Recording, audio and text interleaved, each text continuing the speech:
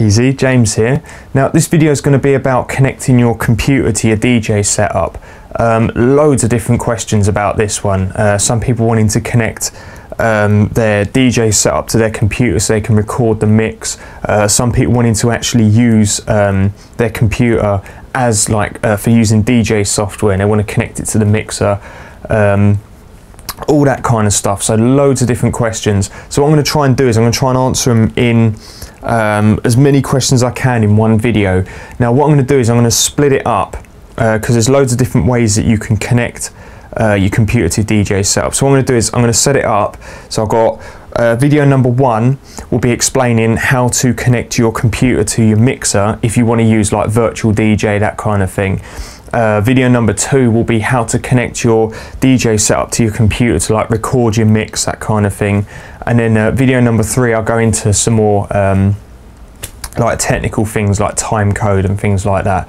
Um, also, I found a way of doing time code on the cheap, okay? Now, I haven't actually got this set up personally, but I know somebody that has and it works okay? So I'll show you about how to do that in the third video. So stick with it and uh, I'll try and get as much information in as possible.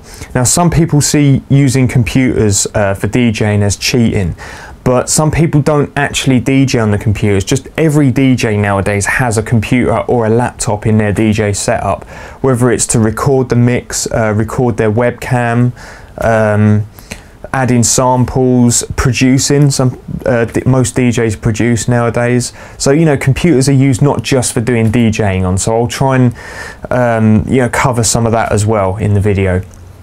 Right, anyway, um, this is video number one, and in this one I'll go into how to connect your computer to your DJ setup so you can um, like use Virtual DJ or Serato or um, what's the other one, Traktor, you know, all them kind of software. Right now, before I go into connecting all your kit up and stuff, let's first talk about the actual computer itself. Now, the computer that you're going to use for this doesn't have to have like the fastest specs in the world. It doesn't have to be the most cutting edge, high spec PC. Any modern day PC will do the job for this, as long as it's stable, okay, so it has to be stable. It has at least a, a gig, maybe a couple of gigs of memory, um, 1.5 to 2 gigahertz processing power and a decent sound card. Most modern um, family PCs or decent OEM machines you can buy from a computer shop nowadays will have that. However, choose your operating system wisely as well. So basically to put it nicely, stay away from Vista. The sound card, most um, sound cards will do the job for this because most computers nowadays are shipped with a Realtek sound card, whether it be the ALC260 or the AC97, whichever one. Um, but most Realtek sound cards that are in computers now can stream six channels of audio. Um, so you just need a sound card that outputs more than uh, four channels of audio. Okay, so maybe like uh, you can get like the creative sound blasters and stuff like that. You don't have to pay a lot for them. Okay, so now if you're running a laptop um, and your laptop hasn't actually got multiple audio outputs and you've only got a single output, which most laptops do, um, really there's only one option for you and that is to go uh, external, get an external USB sound card. Now that sounds expensive and if you can afford one of these really expensive uh, external USB sound cards or interfaces, go for it, okay? If you can afford it, get one, that's fantastic.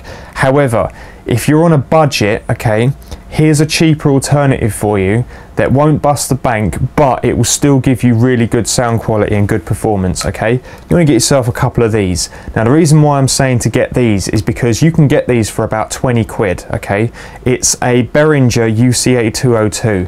Now, I've had this one for about I think about two or three years now. And uh, the newer ones actually have a Toslink connection and an extra headphones output as well. Um, but they're about the same price okay? Now these things are really good okay? All you need to do literally plug it in a USB port. And when the green light comes on you've got audio. That's it. Simple as that. You don't even need it doesn't come with drivers um, or anything like that. It works with Windows XP works with um, Vista, 7, uh, Mac, Linux, everything, you name it. It's just completely plug and play. And you've basically, you've got an audio input and an audio output on there. So what you want to do is get yourself a couple of these. Okay, two of these will probably set you back about 40 quid. So um, I'll put a link for this in the description if you do want one of these. But if you can afford a more expensive one, go for it. Okay, so now I'll quickly go over what cables you're going to need.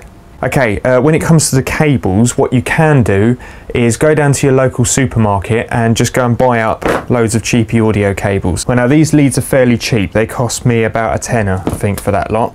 Now, you can go out and buy high quality audio cables um, but you could probably get away with these. At this kind of cable length, okay, on an average hi-fi system, you're probably not going to notice much of a difference, if any, okay? So you can get away with just using cheapy cables like this. However, again, if you can afford them, go for high quality leads, all right? Now, the leads you want are the ones that go from a 3.5 mil uh, stereo jack to two RCA connectors, okay? Um, and you're also probably going to want a couple of these as well. Um, no, that's the same one. Uh, these go from uh, two RCAs to two RCAs. It's just that on either end, okay? So get a couple of those and a few of these other ones. Okay, so the only other thing you're going to need other than your cables is a mixer, okay? Um, your mixer has to have at least two channels and it has to have at least two line channels. So pretty much any mixer on the market then. So I'm going to use this one as an example. Um, a mixer doesn't really have to have an EQ to be honest uh, because Virtual DJ and most of the softwares have an EQ uh, on the mixer on the actual screen. So you can just use that EQ, you don't really need one. So um, yeah, so now we've got everything you need. Basically, we need to start connecting everything up. So um, I'll go into how to connect it up now. Right, okay, so here's the back of the mixer, here's the back of the computer. So what I'll do is then I'll quickly give you a close-up on the computer. Well now, on the back of the computer, um, you're looking for connectors that look like this, okay? They're all normally color-coded. Now, if you're using the Realtek AC97 um, onboard sound card.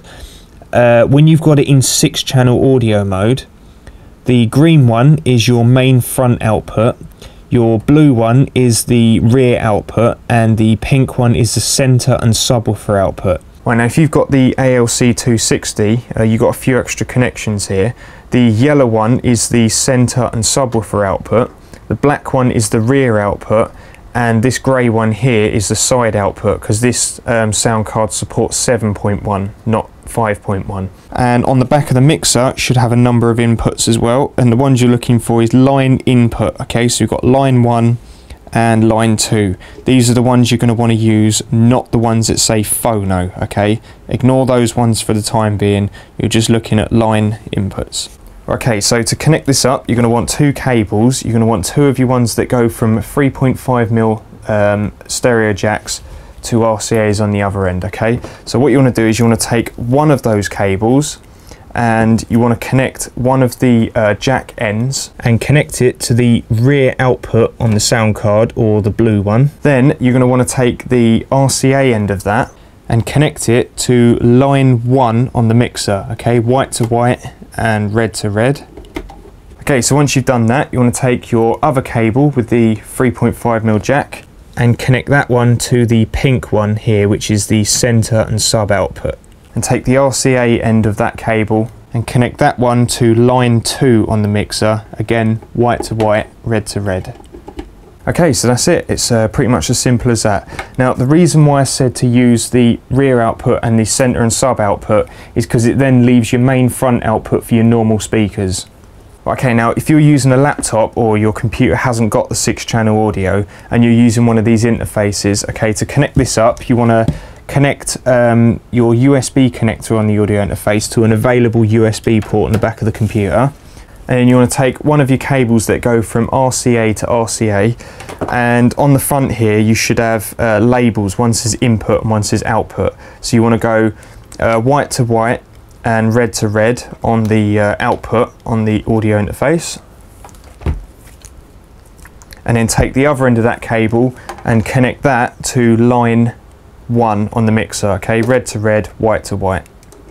Now, you could, if you wanted to, use one of these interfaces and then use the onboard sound card as well as that interface as well. So let's say, for example, you've just connected that up and then you want to take one of your other cables that have got the 3.5mm jack and just go to the main front output on your uh, computer sound card and then go into line two with the other end of that, okay? So you've got one connected to your interface and one connected to your onboard sound card. So that way you've still got two channels coming out the back of the computer. You can do that, and you can also do that with your laptop as well. If your laptop's only got one audio output on it, you can do the same thing. So you don't actually have to buy two of these, you can just get away with using one. Right, so now you've got all that connected up, you need to connect your mixer to your powered speakers or amp or whatever it is you connect your mixer to to get sound. So you want to go to your main output on your mixer and I'm just going to connect it to the auxiliary input on this uh, amp here. So uh, just so we can get some sound, I've only got one speaker at the moment, so just so we can test this out. So uh, once you've got everything connected, you need to boot the computer up and I'll show you what to do on the actual computer. Right, okay, so once the computer's booted up, you need to set it into six channel mode. So um, down in your system tray, down the corner where the clock is, you should have this little symbol if you're using the Realtek sound card. Um, if you're using any other type of sound card, you'll have um, a symbol down there for whatever that is. So just click on that, and in Windows 7 you have to accept the, uh, the UAC thing, so just click yes. Right, okay, so once it's loaded up, let me um, demagnify just a little bit. There we go. So now you should have a little tab at the top there that says speaker configuration. So click on that and then what you want to do is you want to set it to 6 channel or 5.1 speaker mode which is the bottom option here so click that um, it will go back to 2.1 but it has made the change so don't worry about that uh, and then click OK and that's it job done so now what you need to do is I'm going to show you how to do this in Virtual DJ because that seems to be the most popular one. Um, so load up Virtual DJ. Okay, so once Virtual DJ loads up, you want to click up here on the little config tab and it should be on sound setup by default, okay? So what you want to do is you want to select your um, 6.1 card um, so you can enable that card to be used. You can use the ASIO setting if you've got an ASIO driver installed. Uh, you can install ASIO for all. I'll put a link in the description for another video where I'll show you how to install that. Um, so we'll use that for now. And what you want to do is up here you want to select what channels you've got it connected to. So you want um, this is the option I'm using chain 1 and 2 sample preview 3 and 4 left deck and uh, 5 and 6 right deck. So I'm selecting that one. You want to select whichever one you've connected in whatever order. If you're really not sure, just keep clicking them until you hear something through the channels. One of them is going to be the right one.